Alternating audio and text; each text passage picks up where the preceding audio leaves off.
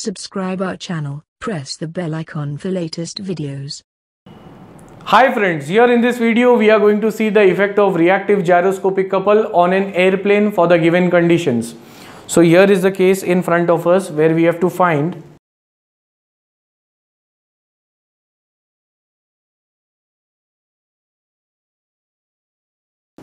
the effect of reactive gyroscopic couple. Now the condition mentioned it is when the propeller rotates in clockwise direction. So this is the propeller. And it is rotating in a clockwise direction. For that here the observer is there behind the plane that is towards the tail end. And this is the nose of the plane. And we have to look from rear here is the axis of the propeller. And this axis is called as the spin axis about which it is rotating in clockwise direction. So looking from the observer the clockwise direction is over here denoted by omega the velocity of propeller and it is transferred here. Omega. The propeller rotates in clockwise direction looking from rear. Now after this I would be indicating this angular velocity of rotation in the form of a vector. For that use the right hand rule. Use the right hand and curl the fingers along the direction of this velocity. This velocity is in clockwise direction, angular velocity. So when I curl the fingers in an anti-clockwise manner, the thumb points towards the plane and this thumb indicates the velocity vector this is the velocity vector omega next here the plane is taking a left turn. For that we have to imagine that we are sitting into the plane and it is taking a left turn. So when it is taking a left turn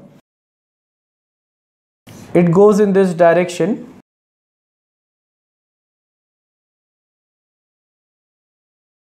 And it means it is rotating about a vertical axis and that axis is called as precession axis so it is turning left.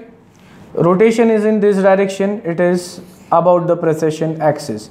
That indicates the precessional velocity of rotation. And looking from the top this velocity is in anti-clockwise direction.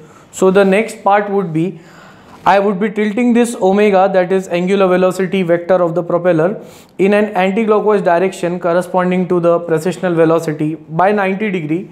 And that would give me the active gyroscopic couple. So this omega has been tilted by 90 degree along the direction of precessional velocity looking from top anti-clockwise direction in a plane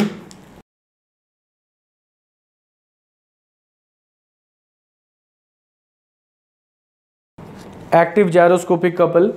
Now exactly opposite to it would be the reactive gyroscopic couple.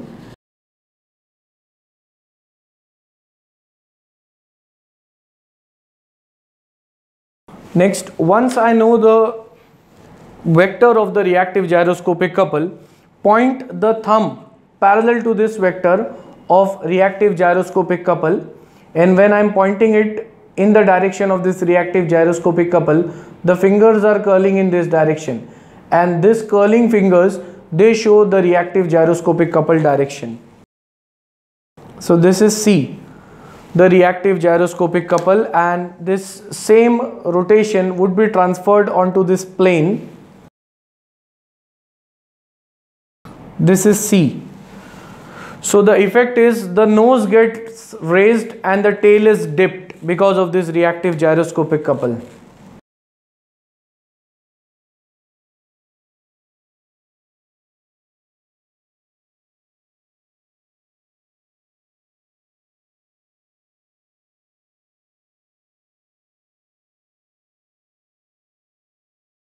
and so the effect of this reactive gyroscopic couple is the nose gets raised and the tail gets dipped or lowered so that is the effect of reactive gyroscopic couple for this given condition where propeller is rotating clockwise and the plane is taking a left turn. And once again if you'll find my videos helpful you can like share comment and subscribe our channel and share it amongst your family and friends. Thanks a lot